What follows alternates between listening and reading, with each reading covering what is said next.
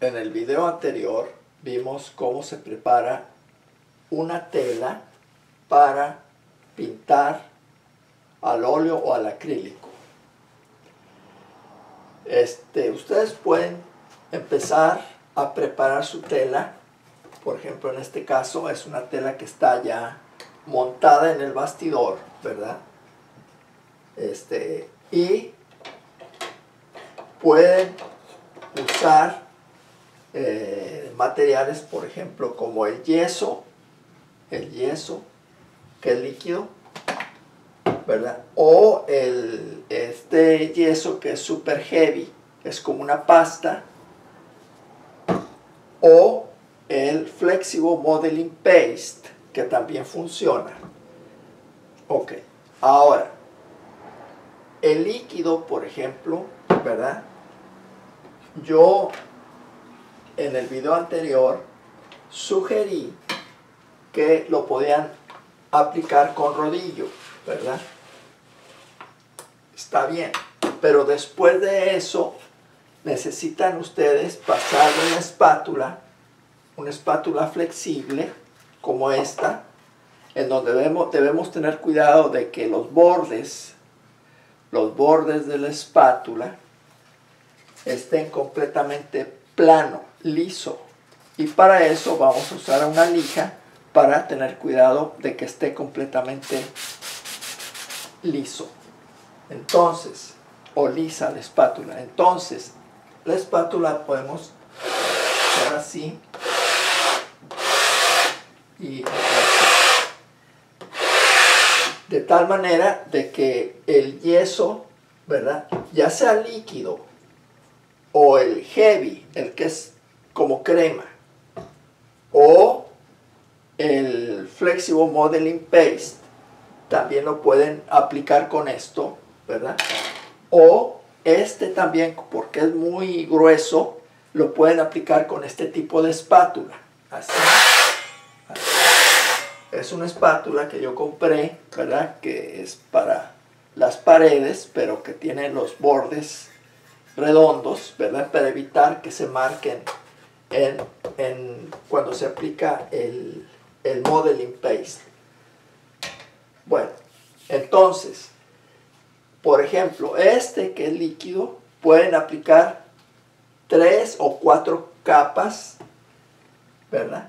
De este. Cuando seca una capa, la primera, deben de lijarlo con una lija mediana, por ejemplo, por ejemplo como esta, una lija no muy áspera, tampoco muy, muy fina, la lija, la lija. Entonces, ya que esté lijado, le ponen la otra, la otra capa, ¿verdad? Con siempre poner atención de que vamos a usar esta espátula para que quede lo más parejo y plano posible. Y lo lijamos. Son 3, 4 y ustedes prueban si creen que ya está suficientemente liso, ya paran ahí y entonces ya se disponen a pintar. Este es con un, un canvas ya montado en el bastidor. También pueden eh, hacerlo. Por ejemplo, aquí en este caso, este, esta es una tela para un bastidor de 18 pulgadas por 24 pulgadas, que yo lo desmonté para prepararlo, ¿verdad?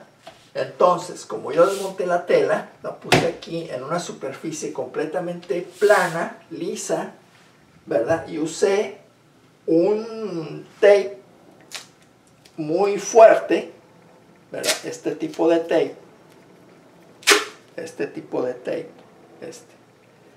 Y pegué una parte, primero, por ejemplo, pegué aquí, la estiré, pegué la otra, y luego pegué aquí, lo estiré y pegué aquí. Bueno, entonces, y procedí igualmente con las capas de yeso, pueden usar eso, pueden usar este, este son menos capas. El, pesado pueden usar unas tres capas máximo, según, si ustedes quieren que quede completamente liso, pues este, pueden ponerle más capas, 4 o 5, ¿verdad? Igualmente con el Flexible Modeling Paste. Bueno, entonces aquí ya, o pueden ponerlo con brocha, pero al final usan espátula, ¿verdad? Con la brocha lo pueden poner, pero al final usan espátula. O usan espátula directamente, sin usar ni el rodillo ni la brocha. Es como ustedes se acomoden. Entonces, ahora vamos a pasar a montar la tela en, en nuestro bastidor. Para eso tenemos la grapadora, ¿verdad? Hay grapadoras este, eléctricas y hay grapadoras, grapadoras de aire, ¿verdad? Eléctricas. Y, y esto es para jalar la tela y grapar. Bueno, ahora, ¿para qué hacemos esto de, de la imprimatura de la tela? Pues para que no se marque eh, es que a veces es muy áspera, muy porosa. Entonces, cuando estamos pintando, ¿verdad? Y estamos aplicando el color, el color no penetra, no penetra suficiente. Entonces tenemos que darle varias, varias pasadas, varias pinceladas, y eso va en detrimento de nuestro trabajo. No se ve fresco, no se ve espontáneo. Y con esto, ¿verdad? Favorecemos nuestro trabajo porque se ve mejor.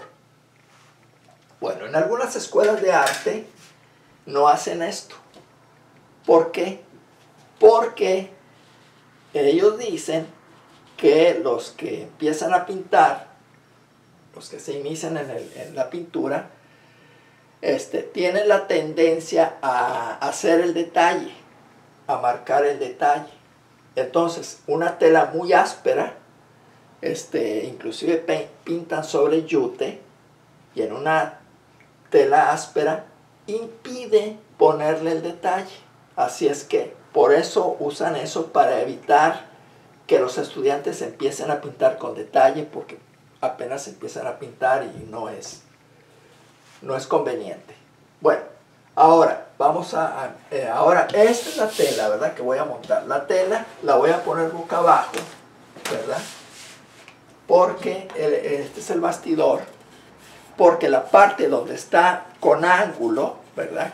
Es esta, aquí está plano, esta es la parte con ángulo, para evitar que la tela toque la madera, el marco, porque al pintar se nota ahí la línea y no, no es conveniente. Entonces voy a voltear boca abajo y voy a colocar aquí este, la,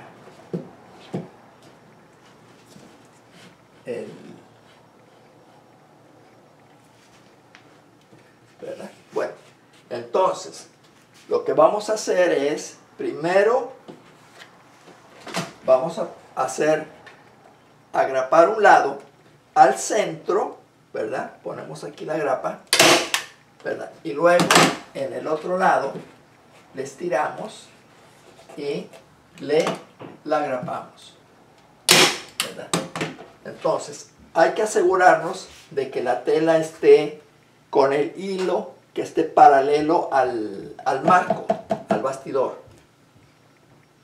Porque si no, se, se, ve mal, no, no está bien, se tuerce. Entonces, vamos a hacer lo mismo del otro lado, aquí en el centro, ¿verdad? Aquí está. Aquí también.